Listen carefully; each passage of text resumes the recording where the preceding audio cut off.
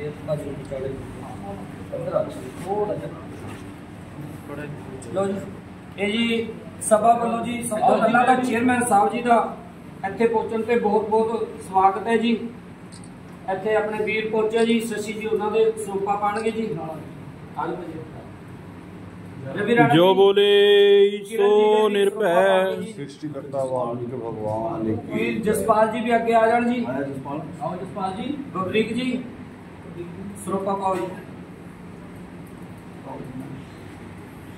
ਅਤੇ ਬਬਰੀਕ ਜੀ ਚੇਅਰਮੈਨ ਸਾਹਿਬ ਦੇ ਨਾਲ ਵੀ ਕੋਮਲ ਕੋਮਲ ਜੀ ਤੋਂ ਕੋਮਲ ਜੀ ਆਜੋ ਤੁਸੀਂ ਇਹਨੂੰ ਜੀ ਸਿਰਫ ਫੜਾਓ ਹੈਗਾ ਜੀ ਹੈਗਾ ਵੀਰ ਕੋਮਲ ਜੀ ਜੋ ਸਪੈਸ਼ਲ ਖਨੌਰੀ ਤੋਂ ਪਹੁੰਚੇ ਹੈ ਜੀ ਉਹਨਾਂ ਦਾ ਵੀ ਇੱਥੇ ਸਵਾਗਤ ਹੈ ਜੀ।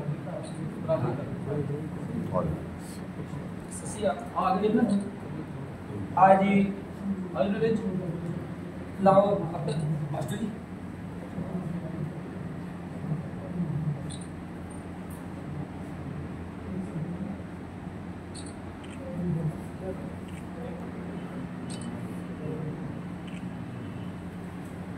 ਦੀ ਫਤਿਹ ਅੱਜ ਮੈਂ ਆਪਣੀਆਂ ਉਹ ਭਾਗਾਂ ਵਾਲਾ ਗਿਣਦਾ ਕਿ ਮੈਨੂੰ ਬਹੁਤ ਹੀ ਪ੍ਰਤੀ ਬਹੁਤ ਹੀ ਧਰਮ ਸਥਾਨ ਜਿਹੜਾ ਕਿ ਵਾਲਮੀਕ ਲਵਾੜੀ ਵੱਲੋਂ ਬਣਾਇਆ ਗਿਆ, ਜਿਹੜਾ ਕਿ ਉਹਨਾਂ ਦੀ ਮੈਂ ਕਹਿ ਸਕਦਾ ਵੀ ਰਤਨ ਹੈਗਾ ਜਿਹੜਾ ਕਿ ਭਾਈ ਜੀ ਪ੍ਰਧਾਨ ਜੀ ਨੇ ਦੱਸਿਆ ਕਿ ਹਿੰਦੁਸਤਾਨ ਦਾ ਪਹਿਲਾ ਮੰਦਿਰ ਹੈ। ਇੱਥੇ ਦੋ ਵਾਰੀ ਪਾਠ ਪੂਜਾ ਹੁੰਦੀ ਹੈ। ਇੱਥੇ ਬੜੀ ਸ਼ਰਧਾ ਨਾਲ ਜਿਹੜੇ ਲੋਕ ਆਉਂਦੇ ਨੇ ਜਿਹੜੇ ਦਿਲ ਦੇ ਵਿੱਚ ਕੁਝ ਰੱਖ ਕੇ ਆਉਂਦੇ ਨੇ ਉਹ ਸ਼ਰਧਾ ਪੂਰੀ ਹੁੰਦੀ ਹੈ। ਮੈਂ ਪਰਮਾਤਮਾ ਦਾ ਸ਼ੁਕਰ ਕਰਦਾ ਸਾਰੀ ਸੰਗਤ ਦਾ ਸ਼ੁਕਰ ਕਰਦਾ ਕਿ ਤੁਸੀਂ ਮੈਨੂੰ ਉਸ ਮੰਦਰ ਦੇ ਵਿੱਚ ਦਰਸ਼ਨ ਕਰਨ ਦਾ ਮੌਕਾ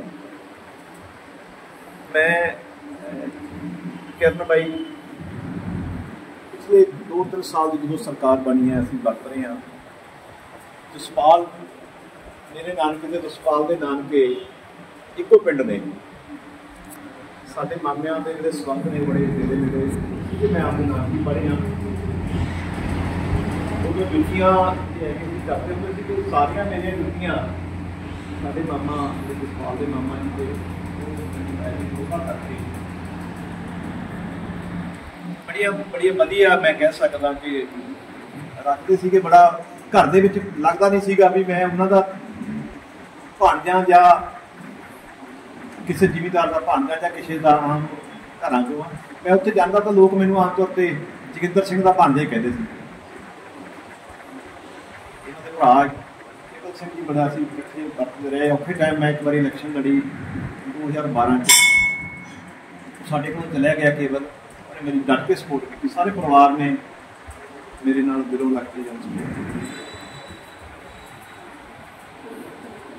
ਪ੍ਰਧਾਨ ਜੀ ਨੇ ਬੇਨਤੀ ਕੀਤੀ, ਹੁਕਮ ਕੀਤਾ ਕਿ ਸਾਡੇ ਜੋ ਪ੍ਰਤੀਨ ਰਤਨ ਮੰਦਰ ਹੈ, ਇਹਦੇ ਵਿੱਚ ਲੰਗਰ ਦੀ ਜਿਹੜੀ ਤੋੜ ਹੈ ਕੁਝ ਮੰਦਰ ਦੀ ਰਿਪੇਅਰ ਵਾਸਤੇ ਕੁਝ ਜਾਂਦੀ ਗ੍ਰਾਂਟਾਂ ਦੀ ਲੋੜ ਹੈ। ਮੈਂ ਬਈ ਸਾਰਿਆਂ ਨੂੰ ਬੇਨਤੀ ਕਰਦਾ ਕਿ ਮੇਰੇ ਕੋਲੇ ਆਪਣੇ ਕੋਲੇ ਤਾਂ ਕੋਈ ਗ੍ਰਾਂਟ ਨਹੀਂ, ਪਰ ਮੈਂ ਸਰਕਾਰ 'ਚ ਸਰਕਾਰ ਦੇ ਵਿੱਚੋਂ ਜਿਹੜੀ ਤੁਹਾਡੀ ਡਿਮਾਂਡ ਹੈ, ਮੈਂ ਪ੍ਰਮਾਤਮਾ ਨੂੰ ਹਜ਼ਰ ਨਜ਼ਰ ਜਾਣ ਕੇ ਅਰਦਾਸ ਕਰਦਾ ਕਿ ਸੱਚੇ ਪਾਤਸ਼ਾਹ ਮੈਨੂੰ ਬਲ ਬਖਸ਼ਣ। ਮੈਂ ਜਿਹਦੇ ਕੋਲੇ ਤੁਹਾਡੀ ਡਿਮਾਂਡ ਲੈ ਕੇ ਜਾਵਾਂ, ਕਿ ਕੋਈ ਦੋ ਸੋਰਸ ਨੇ ਆਪਣੇ ਕੋਲੇ ਬਹੁਤ ਵਧੀਆ ਐਮਐਲਏ ਸਾਹਿਬ ਨੂੰ ਬੇਨਤੀ ਕਰਾਂਗੇ। ਪਲੈਨਿੰਗ ਬੋਰਡ ਦੀ ਵੀ ਆਪਾਂ ਗਰਮੇਲ ਬਾਈ ਨੂੰ ਬੇਨਤੀ ਕਰਾਂਗੇ। ਜਿਹੜਾ ਐਮਪੀ ਆਪਾਂ ਸਾਰਿਆਂ ਨੇ ਹੁਣ ਚੁਣ ਕੇ ਇਹਨੂੰ ਬੜੀਆਂ ਵੋਟਾਂ ਤੁਸੀਂ ਪਾਈਆਂ। ਉਹਨਾਂ ਤੋਂ ਕੋਲੋਂ ਵੀ ਆਪਾਂ ਗ੍ਰਾਂਟ ਲਵਾਂਗੇ, ਜਿਹੜੀ ਤੁਹਾਡੀ ਡਿਮਾਂਡ ਹੈ ਪੂਰੀ ਕਰਾਂਗੇ। ਜਿੱਥੇ ਤੱਕ ਵਾਲਮੀਕੀ ਸਭਾ ਦਾ ਸਮਾਜ ਦਾ ਮਸਲਾ ਹੈ ਸਰਦਾਰ ਭਗਵੰਤ ਸਿੰਘ ਮਾਨ ਨੇ ਸੋਚਿਆ ਹੈ ਕਿ ਜਿਹੜਾ ਬਖੇੜਾ ਹੈਗਾ ਜਿਹੜੀ ਗਰੀਬੀ ਹੈਗੀ ਹੈ ਇਹ ਆਪਾਂ ਕਹੀਏ ਅਸੀਂ ਕੰਮ ਕਰਕੇ ਦੂਰ ਕਰ ਲਾਂਗੇ ਨਹੀਂ ਇੰਸਪੈਕਟਰ ਸਾਹਿਬ ਬੈਠੇ ਨੇ ਜਿਹੜੇ ਬੰਦੇ ਪੜ੍ਹ ਕੇ ਲਿਖ ਕੇ ਨੌਕਰੀਆਂ ਕਰੀਆਂ ਉਹਨਾਂ ਨੇ ਆਪਣੇ ਘਰ ਸਵਾਰ ਲਏ ਸਰਦਾਰ ਪੜ੍ਹਾਈ ਕਰ ਆਪਾਂ ਨੂੰ 2.5 ਸਾਲ ਹੋ ਗਏ ਸਰਕਾਰ ਬਣੀ ਕਾਫੀ ਸਕੂਲਾਂ ਦਾ ਜਿਹੜਾ ਹੈਗਾ ਸੁਧਾਰ ਉਧਰ ਨੂੰ ਚੱਲਿਆ ਵੀ ਘੱਟੋ ਘੱਟ ਜਿਹੜੇ ਬੱਚੇ, ਗਰੀਬਾਂ ਦੇ ਬੱਚੇ ਨੇ। ਤੁਸੀਂ ਸ਼ਹਿਰ ਵਾਲੇ ਫਿਰ ਵੀ ਭਾਗਾਂ ਵਾਲੇ ਹੋ। ਅਸੀਂ ਪਿੰਡਾਂ 'ਚ ਰਹਿੰਦੇ ਆ ਜਸਪਾਲ ਨੂੰ ਪਤਾ ਹੈਗਾ। ਕਈ ਵਿਚਾਰੇ ਸਰਕਾਰੀ ਸਕੂਲ 'ਚ ਪਹੁੰਚ ਵੀ ਨਹੀਂ ਕਰ ਸਕਦੇ ਬੱਚਾ ਪੜਾਉਣ ਮੈਂ ਤੁਹਾਨੂੰ ਬੇਨਤੀ ਕਰਦਾ, ਤੁਸੀਂ ਬੜੇ ਜਾਗਰਤੀ ਰੱਖਦੇ ਹੋ ਆਪਣੇ ਸਮਾਜ ਪ੍ਰਤੀ। ਬੜੇ ਸੇਵਾਦਾਰ ਹੋ। ਤੇ ਤੁਸੀਂ ਪਿੰਡਾਂ ਦੇ ਵਿੱਚ ਵੀ ਕੋਈ ਨਾ ਕੋਈ ਕਮੇਟੀਆਂ, ਸੁਸਾਇਟੀਆਂ ਬਣਾ ਕੇ ਉਹਨਾਂ ਲੋਕਾਂ ਨੂੰ ਪ੍ਰੇਰਿਤ ਕਰੋ ਕਿ ਬੱਚਿਆਂ ਨੂੰ ਸਕੂਲ ਭੇਜਣ। ਜਦੋਂ ਬੱਚਾ 10 ਪੜ੍ਹ ਜਾਂਦਾ ਪਲੱਸ 2 ਕਰ ਜਾਂਦਾ, ਫਿਰ ਉਹਨੂੰ ਆਪਣੇ ਆਪ ਪਤਾ ਲੱਗ ਜਾਂਦਾ ਵੀ ਅੱਗੇ ਪੜ੍ਹਾਈ ਕੀ ਹੈ। ਨਹੀਂ ਤਾਂ ਅਸੀਂ ਸਾਰੀ ਉਮਰ ਸਾਡੀਆਂ ਸਰਕਾਰਾਂ ਨੇ ਸਾਨੂੰ ਗੁਲਾਮ ਬਣਾ ਕੇ ਰੱਖਿਆ ਹੋਇਆ ਹੈ। ਡਾਕਟਰ ਅੰਬੇਦਕਰ ਨੇ ਸਾਨੂੰ ਵੱਡਾ ਵੱਡਾ ਹੱਕ ਦਿੱਤਾ ਹੈ। ਬੜੀ ਉਹਨਾਂ ਦੀ ਵੱਡੀ ਸੋਚ ਸੀ, ਜਿਨ੍ਹਾਂ ਨੇ ਹਰ ਸਮਾਜ ਨੂੰ ਆਪਣੇ ਤਰੀਕੇ ਨਾਲ ਸੰਵਿਧਾਨ ਬਣਾਇਆ ਹੈ ਕਿ ਸਾਨੂੰ ਕੋਈ ਤੰਗ ਨਾ ਕਰ ਸਕੇ। ਪਰ ਫਿਰ ਵੀ ਤੁਸੀਂ ਵੇਖਿਆ ਯੂਪੀ ਦੇ ਵਿੱਚ, ਬਿਹਾਰ ਦੇ ਵਿੱਚ ਦਲਿਤ ਸਮਾਜ ਨਾਲ, ਵਾਲਮੀਕੀ ਸਮਾਜ ਨਾਲ ਬਹੁਤ ਦੁਰਦਸ਼ਾ ਕਰਦੇ ਨੇ। ਪੰਜਾਬ ਫਿਰ ਵੀ ਆਪਾਂ ਭਾਗਾਂ ਵਾਲਿਆ ਸਾਡੇ ਕੋਲੇ ਅਣਖ ਹੈ। ਅਸੀਂ ਅਣਖ ਨਾਲ ਆਪਦੇ ਜਿਹੜੇ ਲੋਕ ਤੰਗ ਕਰਦੇ ਨੇ, ਸਾਨੂੰ ਉਹਨਾਂ ਨੂੰ ਬੰਗਾਰ ਲੈਂਦੇ ਆ। ਤੁਸੀਂ ਭਾਗਾਂ ਵਾਲੇ ਹੋ। ਕਿ ਇਸ ਪ੍ਰਾਚੀਨ ਮੰਦਿਰ ਜੋ ਹੈਗਾ, ਉਹਦੀ ਸੇਵਾ ਤੁਹਾਨੂੰ ਮਿਲੀ ਹੈ। ਪ੍ਰਧਾਨ ਜੀ, ਸਸੀ ਜੀ। ਸਰਪ੍ਰਸਤ ਪ੍ਰਧਾਨ ਬੈਠੇ ਨੇ ਜਿਹੜੇ ਪਹਿਲਾਂ ਵੀ ਜਿਨ੍ਹਾਂ ਨੇ ਪ੍ਰਧਾਨਗੀ ਕਰੀ ਹੈ, ਜਿਨ੍ਹਾਂ ਨੇ ਮੰਦਰ ਦੀ ਸੇਵਾ ਕੀਤੀ ਹੈ। ਫਿਰ ਤੁਹਾਨੂੰ ਸਾਰਿਆਂ ਨੂੰ ਬੇਨਤੀ ਕਰਦਾ ਕਿ ਤੁਸੀਂ ਆਪਣੇ ਪਿੰਡਾਂ ਦੇ ਜਿਹੜੇ ਸਮਾਜ ਦੇ ਲੋਕ ਨੇ, ਉਹਨਾਂ ਨੂੰ ਵੀ ਥੋੜਾ ਜਿਹਾ ਉੱਪਰ ਕਰਨ ਲਈ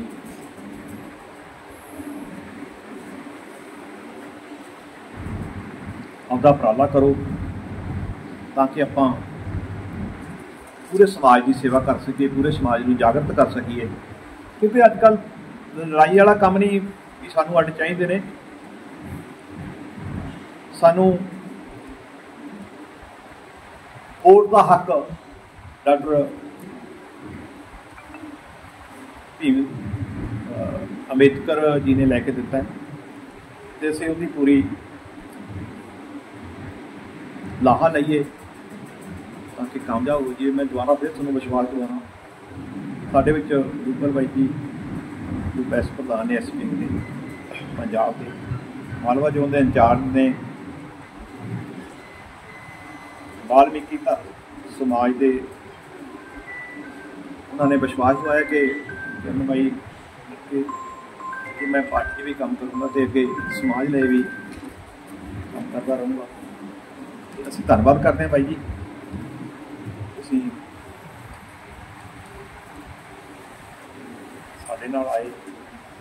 ਜੋ ਬੋਲੇ ਸੋ ਨਿਰਭੈ। ਸ੍ਰਿਸ਼ਟੀਕਰਤਾ ਵਾਲਮੀਕੀ ਜਿਹੜੇ ਲੋਕ ਜਾਗਰੂਕ ਹੁੰਦੇ ਆ ਉਹਨਾਂ ਨੂੰ ਪਤਾ ਹੁੰਦਾ ਹੈ ਕਿ ਸਮਾਜ ਨੂੰ ਕਿਵੇਂ ਉੱਪਰ ਚੱਕਣਾ ਹੈ ਤੇ ਸੇਵਾ ਲੋਕਾਂ ਦੀ ਕਿਵੇਂ ਕਰਨੀ ਹੈ। ਉਹਨਾਂ ਲੋਕਾਂ ਦੀ ਲੋੜ ਹੈ। ਮੈਂ ਤਾਂ ਤੁਹਾਨੂੰ ਬੇਨਤੀ ਕਰਦਾ ਕਿ ਤੁਹਾਡੀ ਲੋੜ ਹੈ ਪਿੰਡਾਂ 'ਚ ਜਾਣ ਦੀ। ਬਾਬੇ ਨਾਨਕ ਨੇ ਆਪਦੀ ਫੇਰੀ ਦਵਾਰ ਤੁਸੀਂ ਪਿੰਡ 'ਚ ਗਏ ਤਾਂ ਬਾਬੇ ਦੇ ਰੋੜੇ ਮਾਰੇ। ਕਹਿੰਦਾ ਬਚਿਆ ਰਵੇ ਪਿੰਡ। ਕਿਸੇ ਪਿੰਡ ਗਏ, ਅਗਲੇ ਉੱਥੇ ਬਹੁਤ ਸੇਵਾ ਹੋਈ। ਬਾਬਾ ਜੀ ਕਹਿੰਦੇ ਵੀ ਤੁਹਾਡਾ ਪਿੰਡ ਉੱਜੜ ਜੇ। ਜਿਹੜੇ ਇਹੋ ਜਿਹੇ ਲੋਕ ਹੁੰਦੇ ਆ ਅੱਗੇ ਤੁਹਾਡੇ ਵਰਗੇ ਲੋਕ ਹੁੰਦੇ ਆ, ਸਿਆਣੇ ਲੋਕ ਹੁੰਦੇ ਆ। ਇਹ ਜੇ ਗਾਹਾਂ ਜਾ ਕੇ ਸੇਵਾ ਕਰਦੇ ਆ, ਜੇ ਲੋਕਾਂ ਨੂੰ ਜਾਗਰਤ ਕਰਦੇ ਆ, ਤਾਂ ਸਾਡੇ ਅਸੀਂ ਜਿਹੜੇ ਪਿੰਡਾਂ ਦੇ ਵਿੱਚ ਲਤਰੇ ਦੱਬੇ ਕੁਚਲੇ ਲੋਕ ਆ, ਸਾਨੂੰ ਜਾਗਰਤੀ ਆਉਂਦੀ ਆ, ਸਾਡਾ ਸਮਾਜ ਉੱਪਰ ਹੁੰਦਾ ਹੈ। ਪਿੰਡਾਂ ਦਾ ਤਰੱਕੀ ਹੁੰਦੀ ਹੈ ਪਿੰਡਾਂ ਦਾ ਨੁਹਾਰ ਬਦਲਦਾ ਹੈ। ਜਿਹੜੀ ਗਰੀਬੀ ਹੈ ਹਮੇਸ਼ਾ ਪੜ੍ਹਾਈ ਨਾਲ ਚੱਕੀ ਜਾਂਦੀ ਹੈ। ਪੜ੍ਹਾਈ ਨਾਲ ਹੀ ਬਿਜ਼ਨਸ ਹੋਊਗਾ, ਪੜ੍ਹਾਈ ਨਾਲ ਹੀ ਨੌਕਰੀਆਂ ਮਿਲਣਗੀਆਂ।